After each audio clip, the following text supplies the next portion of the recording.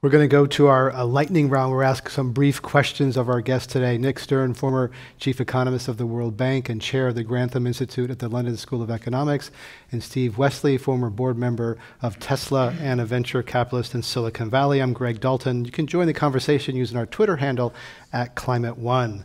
Uh, Steve Westly, yes or no? Green products are still too expensive for many Americans. No. 10 years ago, maybe. Today, no. Excuse me. Um, Nick Stern, in 2010, the G7 industrialized economies pledged to reduce fossil fuel subsidies. That's just a bunch of smoke, and subsidies have not been reduced since. I think you were part of that.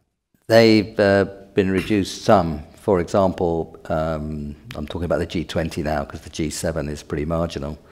Um, in the G20, India has used the world fall in price of uh, fossil fuels and oil and so on to reduce fossil fuel subsidies. Indonesia has a bit, but uh, they should go much faster. Steve Westly, um, new nuclear power plants have a place in a decarbonized economy. It's very difficult to get nuclear in the New World for three reasons. And again, this has nothing to do with Democrats.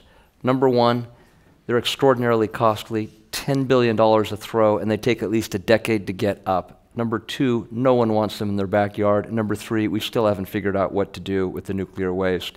That is not the long term solution we need. The future of nuclear power is in China. Um, they're going to invest probably in 100, 150, roughly one gigawatt power plants over the next 15 years or so. That's where we're going to learn about the future of nuclear. Nicholas Stern, the U.S. Congress has slowed down global movement toward cleaner fuels. Yes or no? Um, probably yes, but the okay. uh, meddle in English, U.S. politics a little. No, but one of the wonderful things about the United States, which I say as an outsider, is it's got so many bits to it, like California, like uh, the wonderful firms like Tesla, Walmart, which looks very closely at its uh, supply chain, cities, you know, New York under Mike Bloomberg and Bill de Blasio. That, that United States is a complicated big place, and there's an awful lot happens outside Washington you don't need an outsider to tell you that, but it's important. Steve Westly, Californians concerned about climate change should eat less meat and animal protein. Yeah, this is hard for me because I like meat, but the short answer is moving into the future, we're all going to be eating less meat. We just need to. It's the right thing for the planet. Nick Stern, English pot pie is a bad for the climate. English? I think you're not running for office. English pot pie beef stew, beef pie. What, oh, okay. no, that, it's a, that, it sounds shepherd's like pie. Okay. Shepherd's pie. That okay. shepherd's pie. American mistake. can I just explain shepherd's pie because it's quite.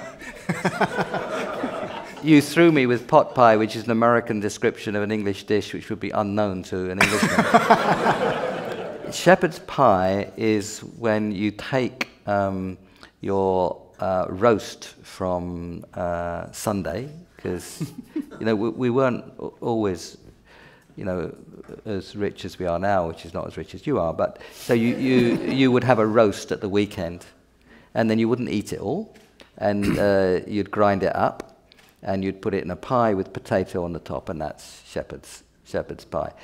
Um, I, I very much agree with Steve. Um, we are going to have to eat less red meat, a move to chicken, a move to, to fish, a move to vegetables will be part of this story and will be much healthier and fitter as a result. And, um, you know, if you feed um, uh, animals with oats for a very long time as opposed to eating the oats yourself or the soy or whatever it might be. That's a much uh, less efficient way of transforming input into output, whichever way you, you look at it. Um, so there's going to have to be some kind of reduction. But the important thing is to describe to people what's in what they eat, including you know, the, the water and, and, what, and the, the greenhouse gases. Let them make up their own mind. Nicholas, I, have seen the future. Kale pie. Yeah, Kale pie. Big. There we go. Californian kale pie. California the- kale yeah, pie. yeah. Uh, Steve Westly, venture capitalists are not as smart as they think they are. Absolutely correct. Um, Nicholas Stern, economists are people who don't have the personality to be accountants. You've been meeting the wrong economist. Let's go to a quick word association. Uh, I'm going to mention something, and you'll mention the first word that pops into your mind. One word. Uh, Steve Westly, American coal.